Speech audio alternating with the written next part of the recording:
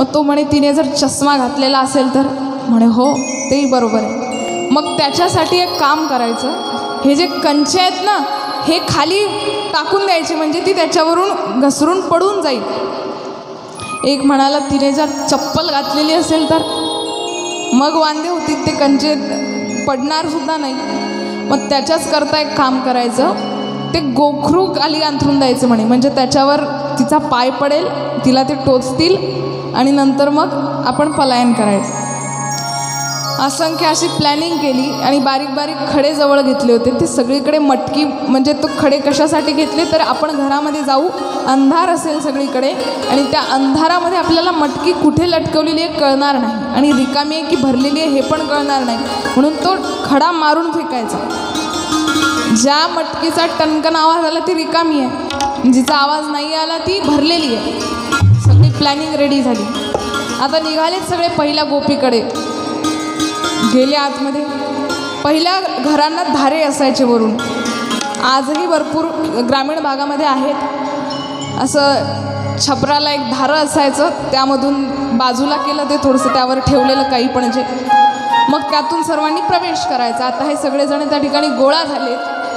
आणि भगवंत सांगतायत यालं तरी यारे लागे अवघे माझ्या मागे मागे. आजी देतो पोट भरी पुरे म्हणालो तो चला माझे मागे या. म्हणून आता भगवंत समोर गेलेत. सर्वांनी गजर केला. गोपाल कृष्ण एक दोन तीन असं करता करता सगळेजण खाली प्रवेश केला सगळ्यांनी. बघितली मटकी काढली खाल्लं सर्वांनी त्यातलं लोणी. बरं चुपचाप बाहेर निघून जाव तर ते भरलेले हात जे होते ते सगळीकडे घरावर चिपकवून दिले. म्हणजे कळायला हवं की जे चोरी करायला आले होते ते लहान मुलं होते म्हणून. इतके नटखट सगळे चिपकवून दिले निघून गेले. ती गोपी घरी आली तिने बघितलं सर्व धिंगाणा बघितला आणि ते हात बघितले भिंतीला चिपकवलेले. हे नक्कीच त्या नंदाच्या पोराचं काम आहे. कारण ते एकटंच असं हे आहे म्हणे. अर्धांड. की जे बाकीच्यांना सुद्धा बिघडवून देण्यासाठी कारणीभूत आहे तो एकटा तर आहेच नटखट पण बाकीच्यांना सुद्धा त्याच्याकडे ओढून घेतो. ठीक आहे तिला माहिती नव्हतं अजून. एक नाही दोन नाही तीन नाही चार पाच घरी चोरी झाली मग सर्वांना संशय आला की हा नक्कीच हा आहे. एका गोपिकेने बघितलं होतं उडी मारताना. त्या गोपीने सगळ्यांना सांगितलं हे बघा गोपींना तुमच्या घरी जी चोरी होते ना ती तो नंदाचा जो मुलगा आहे ना तो करतोय बरं. आता संशय आला सगळ्यांना कळलं. सगळ्या गोपिका गेल्यात नंदराणीच्या दारासमोर. यशोदे बाहेर ये. तुझ्या कृष्णाला समजावून सांग. बघ सगळ्यांच्या घरी सगळ्यांचं लोणी सांडवून देतोय तूप सांडून देतोय दही सांडून देतोय आम्ही उदरनिर्वाह कशावर करायचा? आमचं काही पोट आहे की नाही?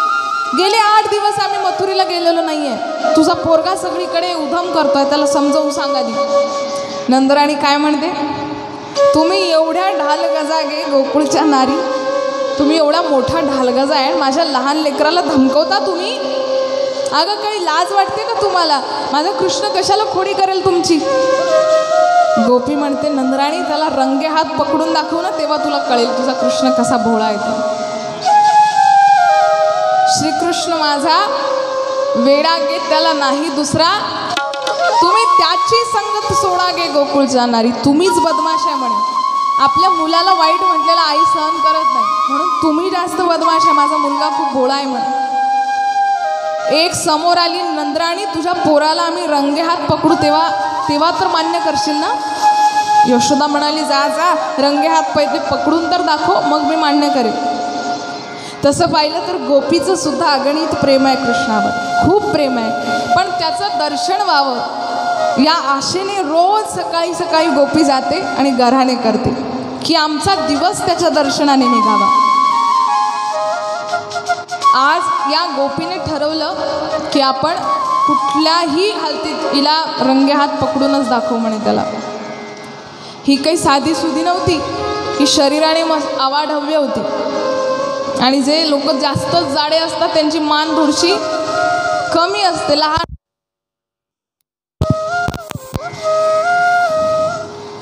म्हणून हिचं नावही होतं पंचफुला.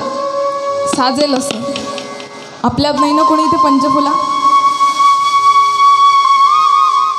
नाही तर येसाल बापा घरानं घेऊन पुन्हा घरी.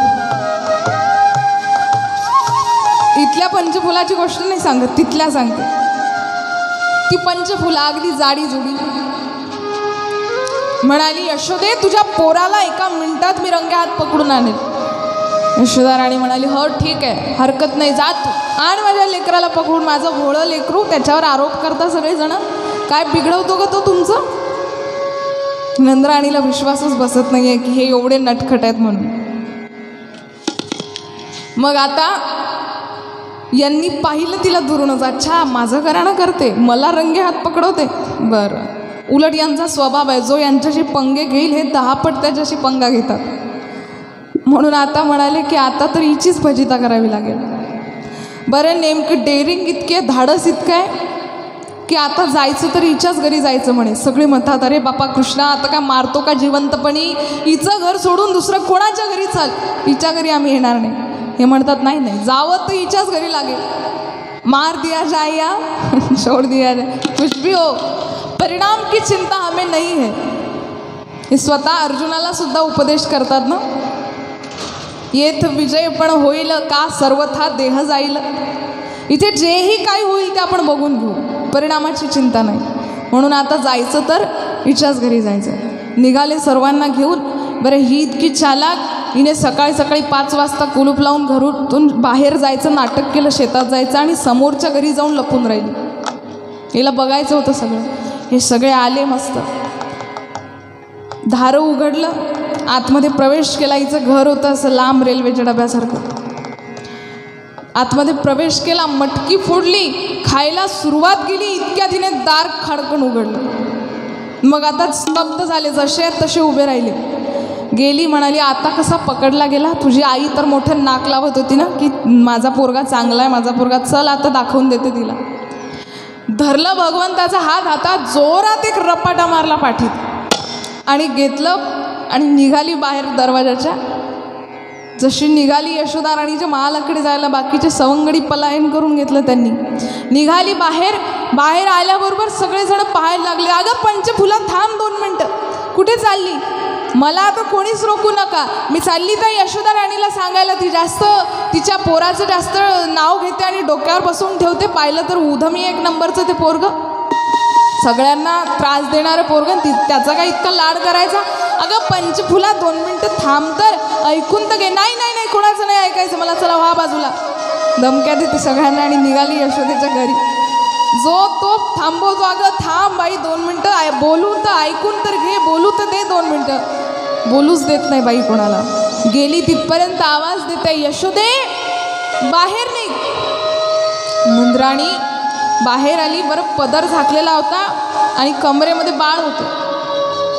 नंदराणी म्हणाली काय गं तू सकाळी सकाळी आली आणि आवाज देते? म्हणजे नंदराणी तू म्हणत होती ना की तू माझा पोरगा खूप शांत आहे आणि तो खूप भोळा आहे. आणि रंगे हात पकडून दाखवा. आता नाक नाही राहणार तुझा. तुला तोंड नाही राहणार सांगायला की माझं पोरगं भोळं आहे म्हणून. म्हणे काय झालं? सांग तर सही इतकं ते बाकीच्या शिव्या गाळ्यानंतर ते म्हणे पहिले जे मुद्द्याचं बोलायचं ते बोल. म्हणाली नंदराणी तुझं पोरगं मी पकडून आणलं. तेही असं तसं नाही रंगे हात पकडलं. चार लोक ग्वाही देतील. नंदराणी म्हणाली कुठला मुलगा माझा पकडला तू? असं? नाटकं करते आता पोराचं पोराची वेळ आली तर? नंदराणीने पदर बाजूला केला. हे बाबाजी डोळे चोळत बसलेले. ती म्हणाली बघ माझा कानोबा इथे बसलेला आहे. हिला अचंबा झाला हा काना आता तर आपण पकडला ना? हिच्याजवळ कोण बसला असं ती म्हणाली नंदराणी हा तुझा कृष्ण आहे? अगं मग आता किती वेळचा झोपलेला होता गं? तुझा आवाज आला मी त्याला उचलून आणलं. मग ती म्हणाली मी पण तर तुझ्याच कृष्णाला पकडलं. नंदराणी म्हणते असं कसं पकडशील? बघू दे कोण आहे. हिने थोडासा हात समोर केल्याबरोबर हिचा नवरा होता तो मागे. जसं त्याला बघितलं हिने धाडकन हात सोडला आणि म्हणते आहो तुम्ही केव्हापासून? तू सांगतो पहिल्या फटक्यापासून मीच आहे. पहिला जसा मारला तसा मलाच पकडलं. ते बिचारे लोक सांगत होते अगं पंचफुला सोड त्याला सोड त्याला. तर ऐकलं नाही म्हणे स्वतःचाच तोरा गाजवत होती. आणि मलाच पकडून घेऊन आली. मैची मान खाली झाली. आणि पुन्हा मनातल्या मनात क्षमा मागते देवाला हे कृष्णा तुझी लीला अपरंपार. तुला रोखणारे आम्ही कोण आहे देवा? क्षमा कर आमच्या गर्वाचं हरण तू केलं पण देवा क्षमा कर जीवाला. गोपीने क्षमा मागितली. कधी कधी दाढी वेणीची गाठ बांधायची कथा सर्वांना ज्ञात आहे. गवळण गरगर फिरे गवळी दारी दाढी वरवर करे. दाढी वेणीची गाठ बांधायची. नाव ती सुटल्या सुटत नव्हती.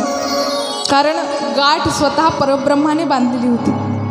आणि तसंही ज्या जी गाठ ब्राह्मणाच्या साक्षीने अग्नीच्या साक्षीने देवाच्या साक्षीने बांधली जाते ती गाठ कागदपत्राने सोडली जाऊ शकत नाही. पण आपल्यासारख्या सामान्यांना कुबुद्धी सुचते. आणि मग कुठून पण ते घराणं काढायचं आणि त्या कागदापत्रावर साईन द्यायची. डिवोर्स म्हणतात त्याला आजच्या भाषेत. अहो पण जी गाठ भगवंताच्या साक्षीने बांधलेली आहे ती अशी तशी सुटेल का? ही गाठसुद्धा दाढी वेणीची सुटत नव्हती.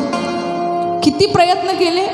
कैचीने कापण्याचा प्रयत्न केला. नवे नवे तर आपली पहिले लोक ते चिमणी लावायची रॉकेलची. त्या चिमणीवर ती गाठ धरली तरीसुद्धा जळत नव्हती. का? कारण गाठ भगवंताने बांधलेली होती.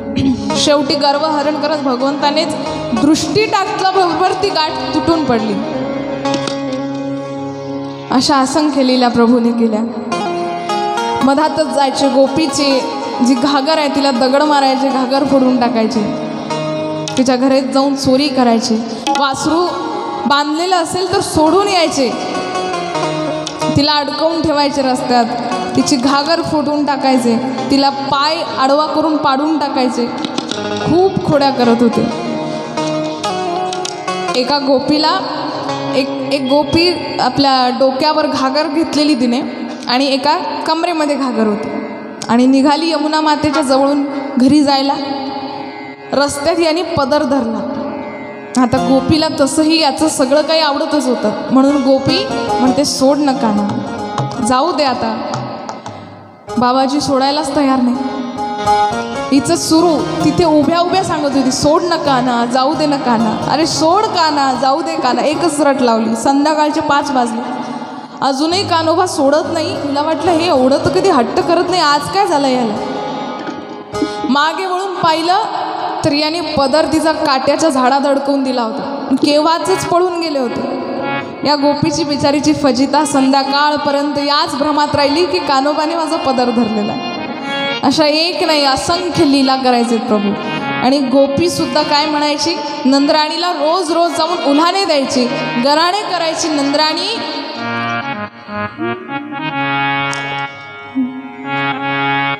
मेरी मटकी उलट के पलट गयो रे।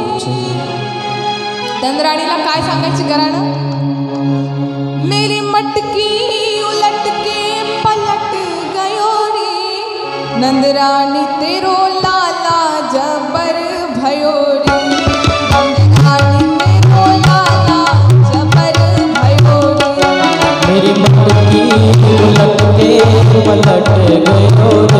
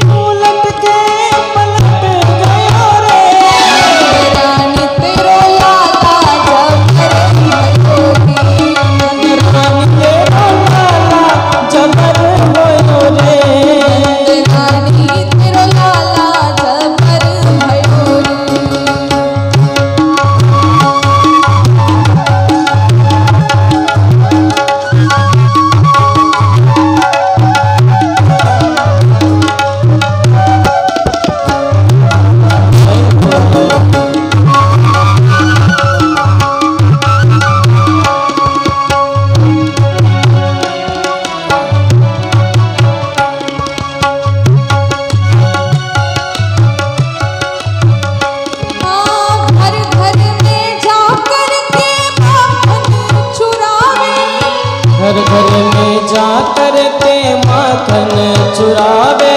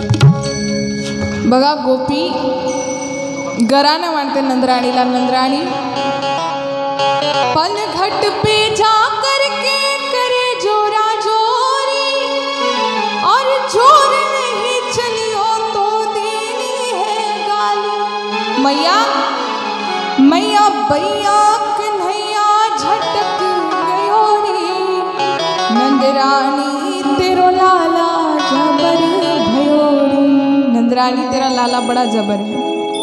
सगळ्या गोपी उल्हाने करतात पण भगवंत अजूनही खोड्या करायचं काही सोडत नाही. नंदराणीने नवस केला गणपती बाप्पाला प्रयास केले पण हे काही अजून सोडायचं नाव घेत नाही खोड्या. महिनाभर शांत राहिले कारण गणपती बाप्पाला नवस केला होता. मग गणपती बाप्पाचं नाव न जावं म्हणून काही केलं नाही. पण ज्यावेळेस नवस पूर्ण केला मातेने नवस केला होता एक हजार लाडू आणि मोदकाचं नैवेद्य दाखवलं मग यांनी लीला काय केली? मातेने रात्रभर जागून लाडू मोदक तयार केले. दुसऱ्या दिवशी म्हणाली लाला आपल्याला गणपती बाप्पाला नैवेद्य दाखवायचा आहे तू चलशील ना सोबत? हो माता मी येईन. कारण एक महिना जरा शांतता होती. काही खोड्या वगैरे केला नाही. गेले गणपती बाप्पाच्या मंदिरामध्ये. लाला बसलेले आहेत त्या ठिका त्या ठिकाणी. दोन मोठे मोठे डाले आहेत ज्याच्यामध्ये मोदक आणि लाडू आहेत. पण धूप राहिला होता घरी आणायचा. म्हणून आता माता म्हणते की लाला मी धूप घेऊन येते तोपर्यंत मस्ती करू नको. इथेच बसून राहा. एकही लाडू मोदकाला हात नाही लागला पाहिजे कानोबा कानोबा म्हणतात नाही माता मी आता शहाणा झालो आहे ना? मी आता आज आजकाल काय म्हणतात मुलं? मी आता गुड बॉय झालो आहे ना? म्हणून आता मी कुठली कोडी नाही करणार. मी आता बिलकुल शांत बसून राहील माता म्हणाली ठीक आहे मग काय हरकत नाही. मग घरी गेली. घरी गेली इकडे यांनी गणपती बाप्पाला धमकी द्यायला सुरुवात केली. गणपती बाप्पा एवढे मोठे लाडू मोदक एकटेच खाणार आहे का? गणपती बाप्पा म्हणाले नाही बाबा प्रभू आम्ही तुम्हाला घाबरणारे आहे तुम्हाला जे करायचं ते करा. मी मी काही तुम्हाला रोकत नाही. देव म्हणतात हां तेच म्हणतो. आता हे सगळं माझं आहे गणपती बाप्पा. तुम्ही लगेच याच्यावर हक्क नका गाजवू. गणपती बाप्पा म्हणाले ठीक हरकत नाही. खायला सुरुवात केली. सगळे लाडू मोदक खाऊन घेतले. आता खाऊन तर घेतले पण पोटात गर्दी झाली. मग आता ते ॲडजस्टमेंट करायला गणपती बाप्पाला म्हणतात ते जरा ॲडजस्ट करून देतात का थोडेसे? गणपती बाप्पा म्हणाले ठीक आहे. घेतलं गणपती बाप्पाला आणि घातलं पोटात. गणपती बाप्पा आतमध्ये गेले. तिकडून यशोदा मैया आली. बघितलं तर लाडू मोदक नाही. मग यशोदा मातेला अचंबा झाला. कृष्णा लाडू मोदक कुठे आहे? काय केलं तू? हे म्हणाले नाही मी काही नाही केलं. इथे की नाही एक मोठ्या पोटाचे बाबाजी आले होते आणि उंदरावर बसून आले होते. त्यांनी हे सगळं खाल्लं. यशोदा माता म्हणाली की अरे बापरे म्हणजे साक्षात गणपती बाप्पा आले होते. कृष्णा सोंड होती का त्यांना? हो, हो हो सोंड पण होती. सुपासारखे कान पण होते. यशोदा मातेला भुलवतोय कानोबा. यशोदा माता म्हणाली हो खरंच? म्हणजे गणपती बाप्पा आले होते गेली आतमध्ये गाभाऱ्यात प्रवेश केला तर गणपती बाप्पा सुद्धा गायब. गणपती दिसत नाही आहे म्हणून कृष्णाला विचारायला लागले की अरे कानोबा देव कुठे आहे? असं विचारता बरोबर आता जोरजोरात हसायला लागले. कारण संत वर्णन करतात देवासीचं पुसे देव काय झाला? हसे आले बोलायचे हरी. देवालाच विचारते देव कुठे गेला म्हणून? हसायला लागले. मग मातेला कळलं की ही गोष्ट सगळी कानोबाची आहे. ही सगळी शैतानी यांनी केलेली आहे. म्हणून म्हणाली हा तोंड दाखव तुझं बघू दे तू काय खाल्लंय? मग आता तोंड उघडायचं नाव घेत नव्हते. पण मातेने आग्रह केला म्हणून आग केला आणि बघितलं तर अखिल ब्रह्मांडाचं दर्शन त्यामध्ये करून दिलं. एकदा माती खाल्ली होती म्हणून सुद्धा ते दर्शन करून दिलं होतं. पुन्हा माता बेशुद्ध पडली पुन्हा माया प्रेरित केली माता विसरून गेली. असंख्य लीला केल्यात. त्यामध्ये एक दिवस गौचारण करायला गेले असताना परत आले आणि बघतायत तर सगळीकडे काहीतरी उत्सवाची धूम सुरू. नंदबाबाला विचारताय तुम्ही काय करताय हा सगळा उत्सव? कुठे चालला आहात सगळं एवढं बैलगाडे सजवलेले आहेत बैलांच्या पाठीवर झूल घातलेली आहे फुलांच्या लड आहेत हार आहेत सगळं काही तिथे उपस्थित केलेलं आहे एवढं सगळं सामान? विचारतायत बालकृष्ण प्रभू. नंदबाबा हे सगळी तयारी कशाची आहे? नंदबाबा सांगतात लाला आपण इंद्रदेवाची पूजा दरवर्षी करत असतो जे आपल्याला पाणी देतात. वर्षा आपल्यासाठी देतात आणि त्याच्या जोरावर सगळीकडे गवत उगवतं धान्य उगवतं. आणि ते गवत खाऊन आपल्या गौमातासुद्धा जगतात ते धान्य खाऊन आपण सर्वसुद्धा जगतो. म्हणून आपण दरवर्षी त्यांची पूजा करत असतो. पण कृष्ण प्रभू समजावून सांगतात नंदबाबाला नंदबाबा अहो तुमच्या इंद्राची पूजा करण्यापेक्षा गोवर्धनाची करा. माझा गोवर्धन खूप कृपा दृष्टीचा आहे. तो खूप करुणाकर आहे. नंदबाबा म्हणतात कृष्णा असं मधातच कसं का आम्ही सोडावं? भगवंत समजावून सांगतात हे बघा तुम्ही इतक्या वर्षापासून पूजा करताय इंद्राची इंद्राला तुम्ही कधी बघितलं का? नंदबाबा म्हणाले नाही कधीच नाही. अहो मग आपल्या सर्वांना दिसणारा देव म्हणजे गोवर्धन आहे त्याचं दर्शन तुम्ही सगळेजण घेऊ शकता त्याची पूजा कराल तरच वृष्टी होईल. पर्जन्यमान ज्याला म्हणतो आपण त्याच्यावर असंख्य प्रकारचे झाडं आहेत. वेली आहेत लता आहे पुष्प आहे. आणि तो मध्यभागावर स्थित आहे. पूर्वेला जगन्नाथपुरी आहे. दक्षिणेला रा रामेश्वरम आहे. पश्चिमेला द्वारका आहे. आणि उत्तरेला बद्रीनाथ आहे. म्हणून मध्यभागी हा गोवर्धन स्थित आहे. सगळ्यांवर कृपादृष्टी करणारा गोवर्धन आहे. तुम्ही त्याची पूजा करा. नंदबाबांना सुद्धा म्हणणं पटलं. तुझा गोवर्धन खरंच प्रसन्न होईल का रे कानोबा? मग तो खूप करुणा निधान आहे तो प्रसन्न होईल. आजही वृंदावनामध्ये तो गोवर्धन स्थित आहे. म्हणून आपणही मानव जन्म भेटलाय ते एकदा त्या वृंदावनाचं दर्शन घेऊन बघा. तो गोवर्धनधारी जो भगवंताने गोवर्धन हातावर धारण केला होता तो गोवर्धन आजही स्थित आहे. त्याचं दर्शन म्हणजे खूप मोठं भाग्याची गोष्ट आहे. नंदबाबाला समजावून सांगतायत माझा गोवर्धनाची पूजा करा. आता सर्वांना म्हणणं पटलं पण त्याची पूजा कशी करावी माहिती नाही. म्हणून भगवंत सांगतायत एक काम करा हे सगळं काही तयारी आहे ही तशीच राहू द्या पण प्रत्येकाच्या घरातून काही ना काही अन्न घ्या. आणि भगवंतानी सांगितलं की ज्याच्या घरातून अन्न येणार नाही अन्नकूट ज्याला म्हटलेलं आहे ज्याच्या घरातून अन्न येणार नाही त्याच्यावर अन्नपूर्ण प्रसन्न होणार नाही. म्हणून छप्पन भोग ज्याला म्हणतो आपण त्यामध्ये सर्वांनी आपल्या घरून थोडं थोडं काही ना काही आणत असतात. सगळी तयारी झाली. गोवर्धनाजवळ सगळेजण गेलेत. गोवर्धनाची पूजा केली. आणि आता मात्र इंद्राचा कोप झाला. कारण इंद्राचा अपमान झाल्यासारखं झाला आणि कोप झाला की हे वर्षानुवर्षापासून माझी पूजा करणारे ब्रजवासी आज यांच्यासाठी गोवर्धनच देव आहे. म्हणून राग आला. वर्णन केलेलं आहे की पावसाला सुरुवात झाली वर्षाला सुरुवात झाली आणि इतका धुवाधार पाऊस. माणसाला माणूस दिसायचं काम नाही. सर्वजण कृष्णा तू जर ऐकलं असतं आमचं इंद्राची पूजा केली असती तर हा कोप झाला नसता. आणि हे त्या कोपाचेच परिणाम आहे की सगळीकडे वारा उधाण सुटलेला आहे. पाऊस यायला सुरुवात झालेली आहे. भगवंत म्हणतात चिंता करू नका मी कशासाठी? मी आहे बसलेलो. मी सर्वांचं रक्षण करेल आणि माझ्यापेक्षाही जास्त. ज्याची आपण पूजा करता आहात तो गोवर्धन तुमच्या सर्वांना वाचवेल. सगळे म्हणतात कृष्णा गोवर्धन काय करणार आहे? अहो गोवर्धन काय करू शकत नाही हे विचारा. सर्वांना गोवर्धन प्रभू वाचवेल. म्हणून आता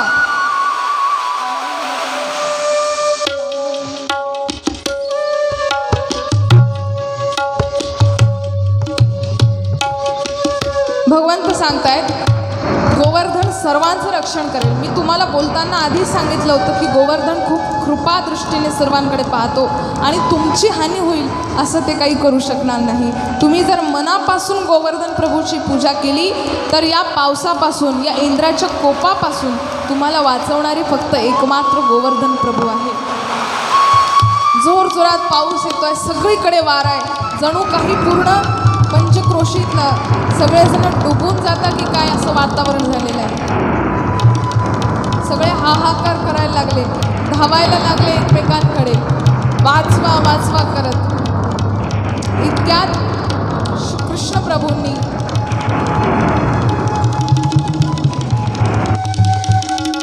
एकदा गजर करत गोवर्धन गिरिराज भगवान. भगवान इतक्याद्वारे भगवंताने उजव्या हाताच्या करंगळीवर त्या संपूर्ण गोवर्धनाला धारण केलेलं आहे. आणि सर्वांना आता आदेश केला सर्वजण या गोवर्धनाखाली या या पावसापासून तुमचं सर्वांचं रक्षण होईल इंद्राच्या कोपापासून रक्षण होईल. म्हणून सर्वजण आता त्या गोवर्धनाच्या खाली एकत्रित झाले आणि सर्वांचं रक्षण भगवंताने केलं. श्री गोवर्धन गिरिराज भगवान भगवान की जय.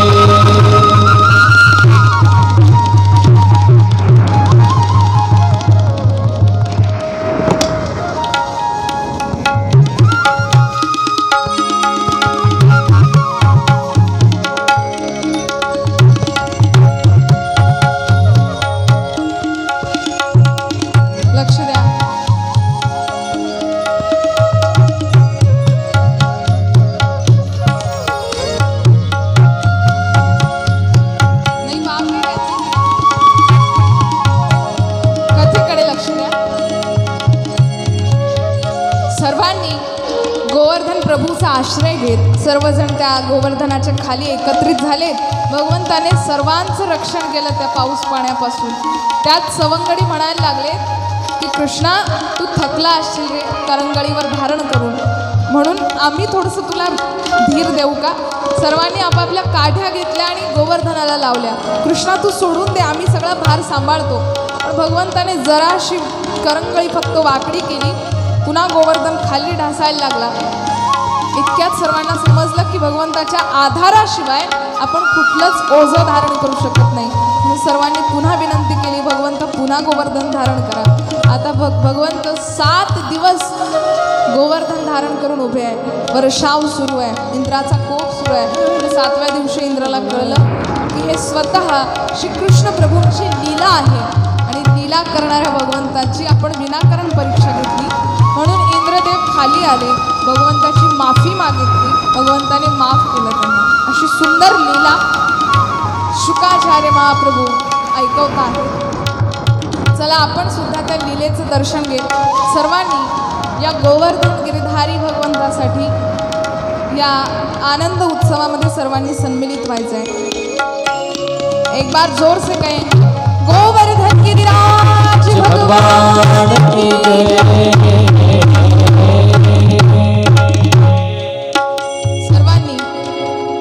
या सुंदर अशा दृश्याचा गोवर्धनाच्या लीलेचा आनंद घ्यायचा आहे. कुणीही खाली बसणार नाही. सर्वांनी उभं राहून या लीलेचा आनंद घ्यायचा आणि गडबड करू नका. मौल्यानं तुम्ही काय करता? गोल करायचं म्हटलं की सगळे एकाच ठिकाणी घुसता असं करू नका. थोडं मोकळं मोकळं गोल करा आणि मग जे काही पावली करायची करायची ती करा. तो बडे प्रेम से सभी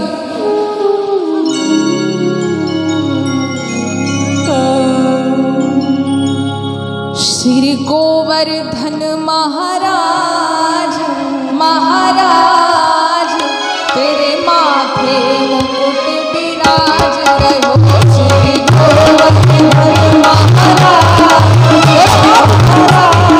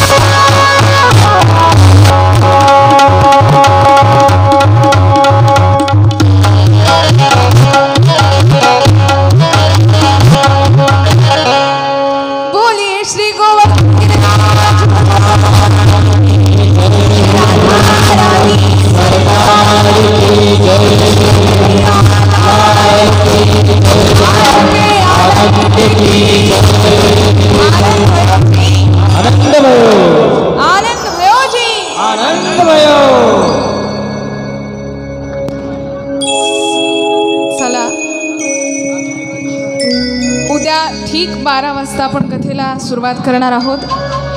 उद्या भगवंताचा विवाह उत्सव आहे. सर्वांनी लाल रंगाचे वस्त्र परिधान करून यायचं आहे. आता आरती होईल आणि आरतीनंतर प्रसाद घेतल्याशिवाय कोणी जायचं नाही. चला मुख्य यजमान आरतीच्या समोर चला.